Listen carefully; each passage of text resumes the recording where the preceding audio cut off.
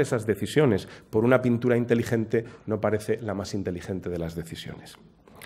La tercera idea sobre la que querría reflexionar es que muchas de las medidas que se consideran propias del concepto SMART son en ocasiones totalmente inservibles a la hora de resolver los problemas creados previamente por decisiones políticas gravemente equivocadas. Recurriré a un nuevo ejemplo.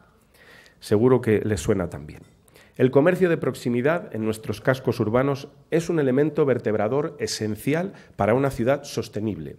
Es un comercio que genera un empleo de calidad, seguridad en las calles, invita al surgimiento y conservación de tránsitos peatonales vitales para la salud y la calidad del medio ambiente urbano.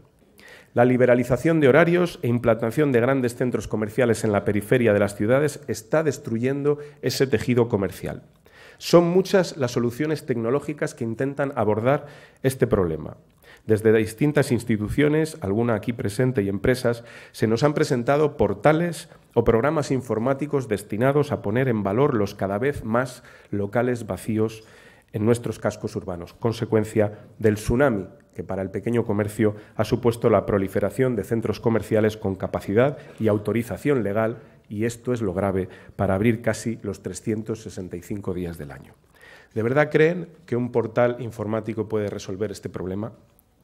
Es por eso que una de las primeras decisiones que tomó el Gobierno municipal de Valladolid fue paralizar cualquier traslado posible de la denominada Ciudad de la Justicia y buscar y encontrar con carácter inmediato un emplazamiento en el casco urbano consolidado para ese equipamiento público. Un emplazamiento en el casco urbano consolidado que no tengan ninguna duda, será eh, una decisión que pueda contribuir a paliar el problema creado en el comercio local más que 100 portales informáticos. Utilizar la potencia de los equipamientos públicos en beneficio del comercio de proximidad a través de una adecuada ubicación de los mismos es una medida inteligente que solo precisa de la intervención del cerebro humano y de sus decisiones políticas. Ojalá estuviéramos a tiempo de evitar la salida de otros equipamientos públicos de nuestro casco urbano. Otro ejemplo, un vecino del barrio de Jalón dispone de un autobús solo cada media hora para eh, desplazarse en la ciudad de Valladolid. Podemos también eh, instalar aplicaciones o eh, generar aplicaciones que mejoren el uso del autobús, pero con ellas no podremos solucionar el problema que se crea cuando se construye un barrio nuevo sin la masa crítica suficiente para dotarle a posteriori de los adecuados servicios públicos.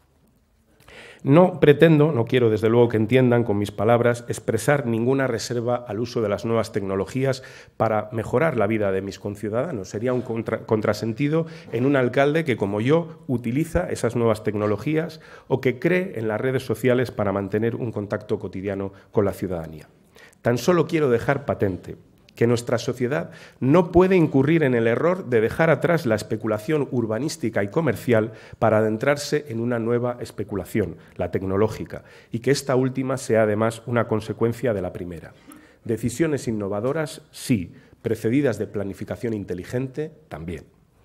En relación con esto último, querría señalar como cuarta reflexión que el liderazgo en la construcción de las ciudades inteligentes no pueden ejercerlo los gigantes de las nuevas tecnologías, sino la ciudadanía y sus representantes. Las empresas tecnológicas deben adaptar sus propuestas a las necesidades reales de las ciudades y no pretender que sean las ciudades, con la adquisición de productos que realmente no necesitan, las que den satisfacción a su búsqueda de negocio. No cabe duda de que los proyectos SMART son también una oportunidad económica, pero erraríamos si permitiésemos que sea esa la única finalidad que guíe estas iniciativas. Por fortuna, estas ideas, que pudieran resultar contrarias al concepto imperante de Smart City hasta el momento, ya están siendo tenidas en cuenta por las instituciones europeas que exigen, a la hora de financiarlas, que estén relacionadas con algo más que proyectos o medidas aisladas, más o menos cool o que suenen bien a los oídos de quienes identifican progreso con gadgets tecnológicos a primera vista, primando aquellas que vienen enmarcadas en una visión global de ciudad, fruto de una planificación completa y cabal en la que todas las decisiones de ciudad vengan enmarcadas en los objetivos que esas medidas a financiar persiguen. Es por eso, y voy concluyendo, que ya les anticipo que todas las decisiones en, esta materia en nuestra ciudad, en la medida que dependan del Gobierno que hoy la rige, vendrán precedidas de una adecuada planificación. Las tecnologías inteligentes estarán al servicio de decisiones inteligentes, entendiendo por estas decisiones racionales, pensadas en el interés general y en los derechos de su ciudadanía, de su gente. El mejor proyecto de ciudad inteligente podría no necesitar depender exclusivamente de sensores y ordenadores. Medellín es un buen ejemplo y es ya considerada por multitud de instituciones como una de las ciudades más inteligentes del mundo. Hace años se producían en ella innumerables asesinatos de bandas, pero sus problemáticas favelas se integraron en la ciudad no con smartphones, sino con instalaciones deportivas financiadas con fondos públicos, parques, biblioteca, colegios en zonas deprimidas y un teleférico que las conecta con la ciudad. Ahora se cita frecuentemente a Medellín como ejemplo de urbanismo social y en 2013 fue nombrada la ciudad más innovadora del mundo por el Urban Land Institute. Son muchas las voces que hablan de pasar de las Smart City a las Human City.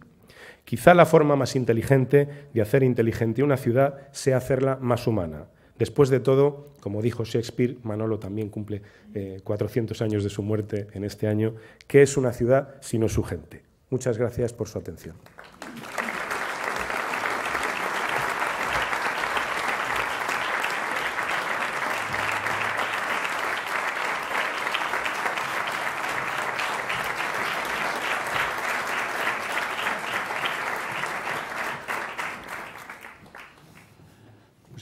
Muchas gracias, Pedro, muchas gracias, Óscar. La presencia hoy aquí del candidato socialista a la presidencia del Gobierno le pone una temperatura especial a este acto y yo, eh, atendiendo peticiones de los oyentes, voy a empezar excepcionalmente por un tema que no es el de la ciudad de Valladolid, pero que seguramente interesa mucho. No digo yo más que la ciudad de Valladolid, pero bastante.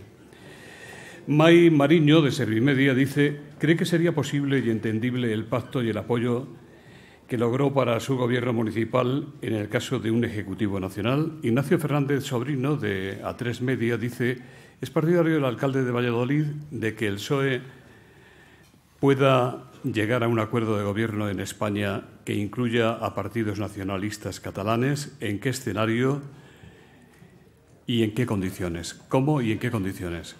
Luis Pozas dice, ¿usted anima a don Pedro Sánchez a que siga su ejemplo? Por favor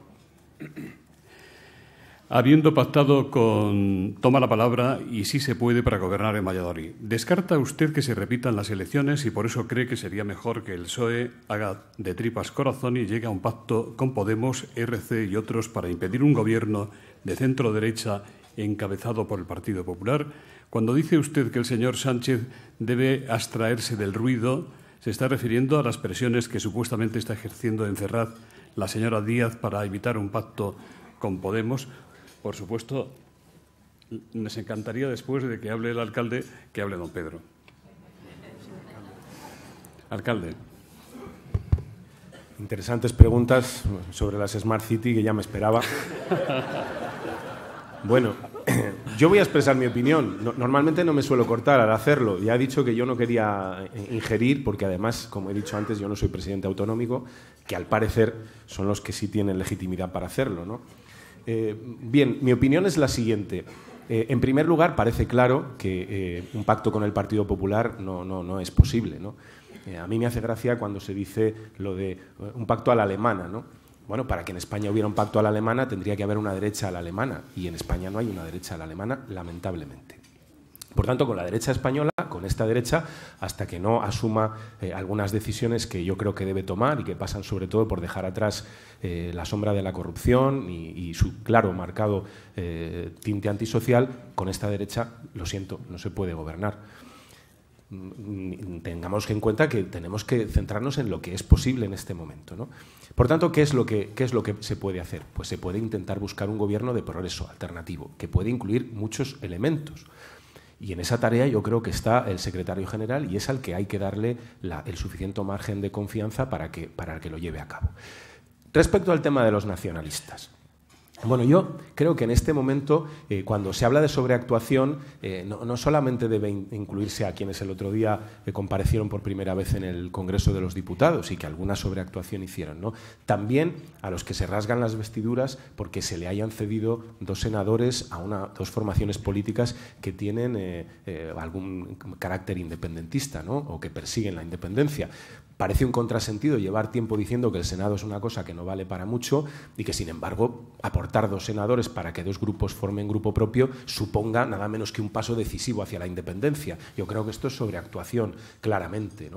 Eh, a mí me parece que si una medida de ese tipo para algo puede servir, o me pregunto, a lo mejor es para retomar un diálogo que se ha roto y que parece que nadie quiere retomar y y eh, alcanzar el objetivo de que den marcha atrás en sus eh, pretensiones eh, independentistas. No digo que vaya a contribuir decisivamente, pero hombre, si puede ayudar en algo, seguramente sea eso. Y a partir de ahí, yo creo que deberíamos distinguir entre formar gobierno y investir a un presidente. Esa es la realidad en la que estamos. Yo creo que en este momento Pedro Sánchez debe intentar ser presidente y veremos a ver en qué condiciones o qué tipo de gobierno le acompaña. Incluso para mí no sería descartable ni indeseable que gobernara eh, exclusivamente eh, con, el apoyo del propio Grupo Parlamentario Socialista. Y después a dialogar, a buscar acuerdos. Eh, en, Valladolid, y me preguntan si es trasladar el ejemplo, ya he dicho, gobernamos dos formaciones políticas en coalición y sumamos 12 y hasta 15, que es la mayoría absoluta, tenemos que buscar acuerdos. Hemos aprobado los presupuestos en tiempo y forma. Eh, el gobierno funciona, toma decisiones todos los días y el país las necesita. Por tanto, creo que lo último a lo que habría que abocar al país es a unas nuevas elecciones.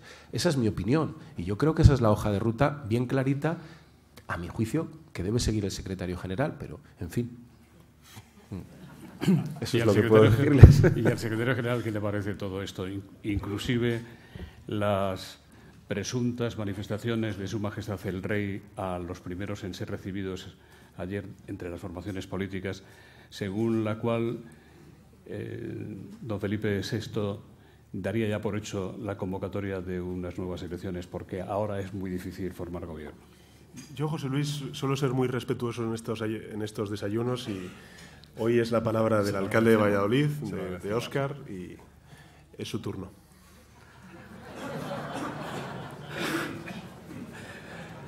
Le van a preguntar después. Me parece estupendo. Pues dígalo ahora. Bueno, discúlpeme. Hay confianza. Hay confianza.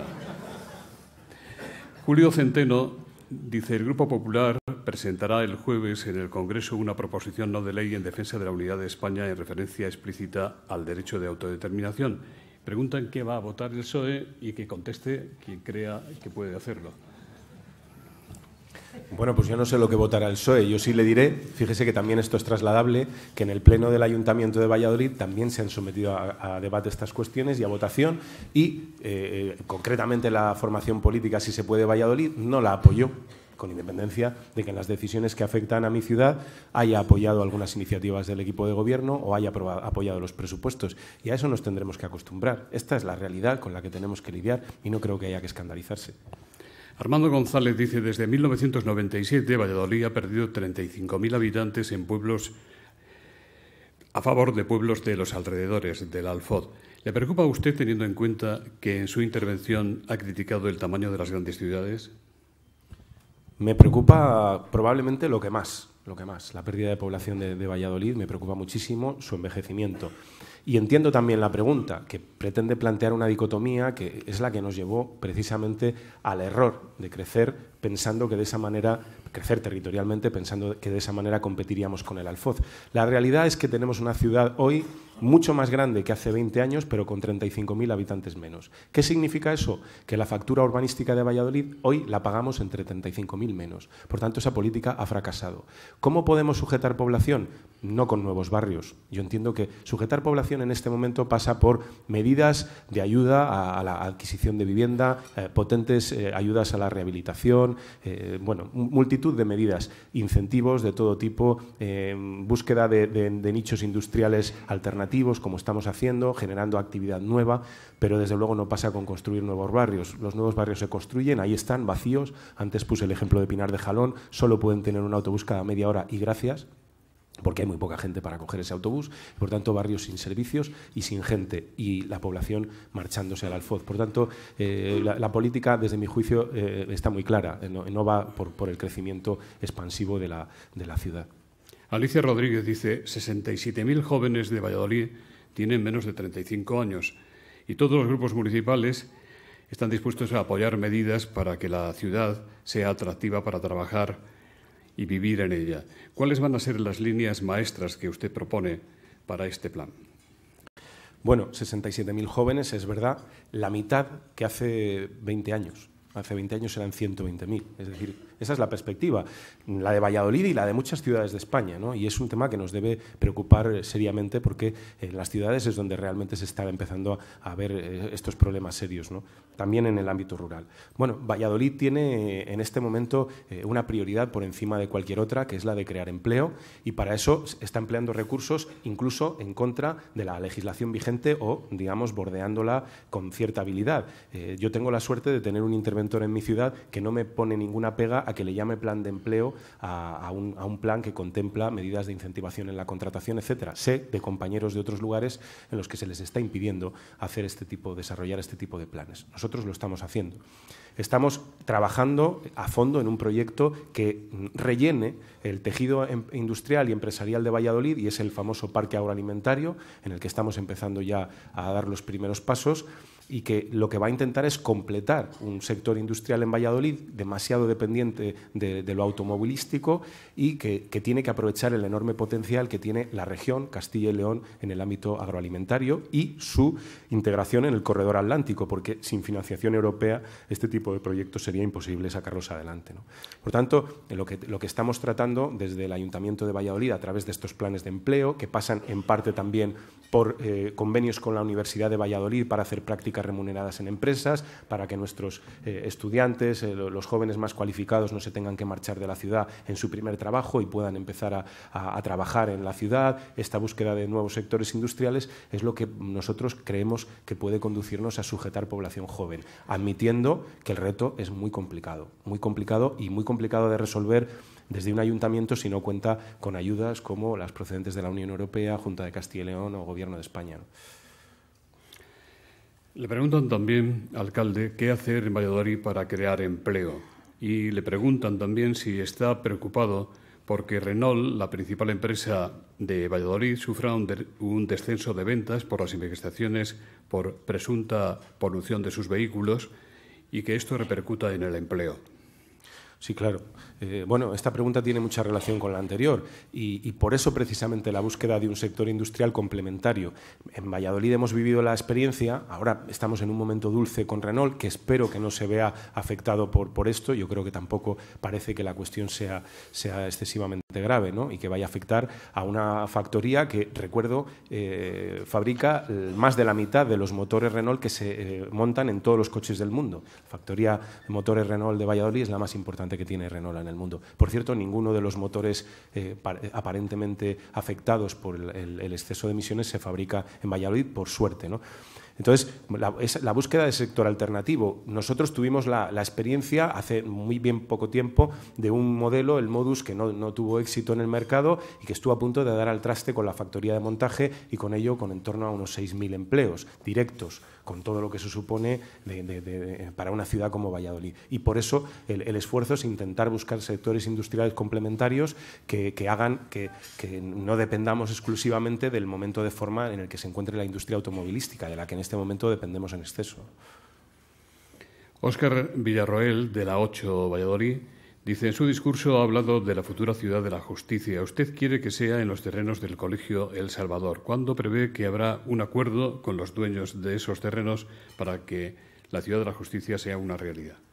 Muy pronto. Eh, yo creo que en la fase de alegaciones tengo aquí a Manolo Sarabia, que además es optimista a tope, y me dice que ya, vamos, prácticamente ya. Entonces, eh, primero, parece que la parte relativa a las propiedades públicas de, esa parcela, que, son, que es la Junta de Castilla y León y Seguridad Social, eh, parece que está solucionada quedaría la parte privada, que no lo es tanto, teniendo en cuenta que el Sareb eh, es prácticamente el dueño de, ese, edificio. ¿no? Por tanto, estamos ahora intentando buscar una solución a tres bandas, pero también dejó claro que el gobierno municipal ha utilizado el urbanismo eh, en, beneficio del interés público y que, como saben, esa, esa, parcela se ha integrado en un área discontinua que, en el caso de no llegar a un acuerdo con los propietarios, pasarán a otro sector y la ciudad eh, se hará con esa, con esa parcela y, por tanto, en aras al interés público eh, albergará la Ciudad de la Justicia. Yo no tengo ninguna duda en este momento de que la Ciudad de la Justicia va a ir a, a esa parcela y que va a depender en muy breve periodo de tiempo más del Gobierno de España que se decida a hacer la inversión que del Gobierno municipal que pondrá a disposición ese suelo. Y también les cuento, y esto sí que para los medios locales es primicia, el Ministerio de Justicia ya ha solicitado la devolución de la cantidad que pagó en concepto de permuta por la parcela del barrio Girón. Por tanto, claramente renuncia a la construcción de la Ciudad de la Justicia en la parcela de Girón y creo que es el primer paso eh, de, una, de una decisión acertada por el Ministerio de Justicia y, desde luego, impulsada por el, por el Gobierno municipal. Volviendo a los asuntos del motor. Le preguntan quién será el fabricante o proveedor de los autobuses eléctricos recargables que va a instalar en la línea experimental. Ahí me pilláis. Y además no está Luis Vélez, el concejal de movilidad, aquí, pero además llegan en breve. Llegan en breve. Son unos modelos muy nuevos, muy, muy nuevos. Eh, yo creo que son los primeros que se van, a, se van a instalar en España y creo que llegan en el primer trimestre del año eh, y pronto estarán a disposición de los ciudadanos, pero no sé quién es el fabricante, no lo sé. Mire la pregunta que le hacen. ¿Cómo valora usted la marcha del Valladolid Club de Fútbol? Es para distender, más que nada. Bueno, si estaba distendida la cosa, ¿no? Bueno, pues, eh, pues con preocupación, pero también con esperanza. Estamos ahí, en el puesto 12. Yo creo que mm, está marchando mejor el equipo desde que Portugal se hizo cargo, se hizo cargo de él y con algún fichaje que espero que se haga en el mes de enero. Ya hemos traído un delantero eh, del Betis. Eh, con, reforzando un poquito la defensa, yo creo que podemos estar arriba y, y por lo menos luchar por el ascenso, que es lo que Valladolid entiendo que merece. Francisco García dice, usted ha sido elegido presidente de la Red Española de Ciudades Saludables en el contexto de la Federación Española de Municipios que preside don Abel Caballero felizmente con nosotros. ¿Qué deberían hacer los municipios para promover y proteger la salud de la ciudadanía, ámbito de actuación en el que no tienen demasiadas competencias y también son escasos sus recursos? Bueno, eh, yo creo que la salud se protege de muchas formas, no solo a través de competencias sanitarias, eh, hay competencias en materia deportiva, la, actividad deportiva es, una actividad saludable, competencias en materia de movilidad, la salud en las ciudades depende mucho de ella, de que sea sostenible, de que sea limpia. Eh, bueno, se pueden hacer infinidad de, cosas. De hecho, a mí antes de, optar por esto me dijeron que esta era la red más importante que tenía la FEM, por tanto dije, oye, pues ponedme ahí si es posible. O sea que yo creo que se pueden hacer muchas cosas y seguro que las haremos. Luisa Trigo le pregunta qué piensa hacer ante las reivindicaciones de la Policía Municipal para que tengan jornadas dignas y contra las 56 horas semanales que, según ellos, trabajan en Valladolid los policías. Bueno, estamos ahora mismo en plena fase de negociación con prácticamente todo el personal municipal. La verdad es que nos está pasando algo curioso, ¿no? Eh, durante 20 años ha habido un tremendo silencio con cantidad de cuestiones relacionadas con la situación laboral de los funcionarios y trabajadores de la casa. Y ahora eh, es verdad, y, es en positivo, ¿no? la esperanza de, que hemos llegado nosotros hace que ahora de repente todas las reclamaciones estén encima de la mesa. Hemos tenido hace poco un paro de Aubasa que por por fortuna duró unas horas, no llegó a, más, eh, por, una reivindicación laboral de los conductores. Ahora eh, los policías, probablemente con razón, hacen esta reclamación. Tenemos a los bomberos también reclamándonos eh, el paso de, la categoría C2 a C1, que llevaban años reclamando, pero que tampoco, mm, tampoco trascendió gran cosa. Yo lo que pido es un poco de paciencia. Llevamos siete meses en el Gobierno. Este año, en relación con el personal municipal, la verdad es que no hemos podido hacer más avances. Además de la subida salarial del 1% que habrá eh, este año, que, llevaba mucho tiempo sin producirse, vamos a pagar la paga extra eh, a los funcionarios antes que nadie.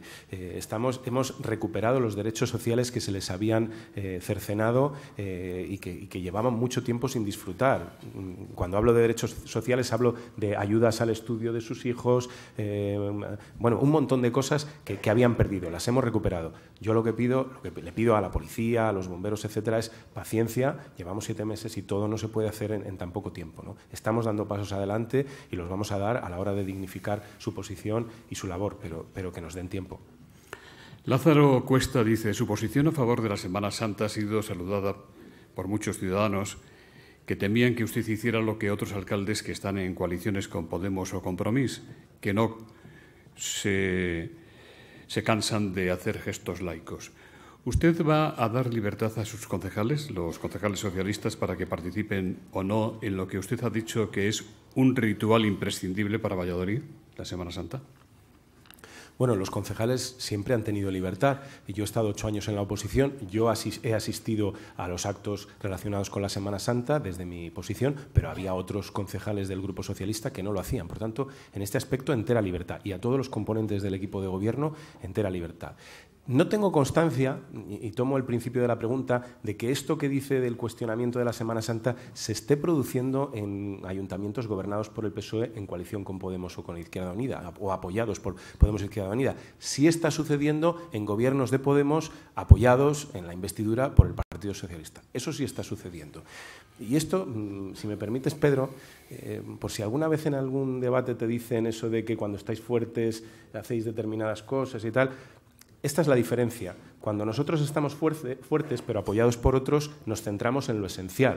Cuando son otros los que están fuertes, pero apoyados por nosotros, pues hacen algunas cosas como las de la Navidad en Valencia o en Madrid, que yo creo que no eran una demanda ciudadana precisamente, o lo de mover los retratos del rey de sitio. Nosotros nos hemos centrado en la agenda social y somos conscientes de la ciudad que gobernamos. Valladolid tiene, junto con Sevilla y otras localidades de España, una de las Semanas Santas más importantes que hay.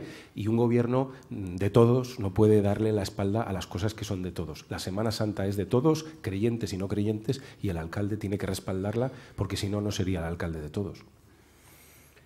David Sánchez dice, usted trasladará nuevos datos y evidencias al juez que instruye el caso por la presunta contratación irregular con varias empresas vinculadas al que fue jefe de mantenimiento del Ayuntamiento de Valladolid. ¿Qué novedades hay sobre este caso? Y también le preguntan si cree usted que la instrucción de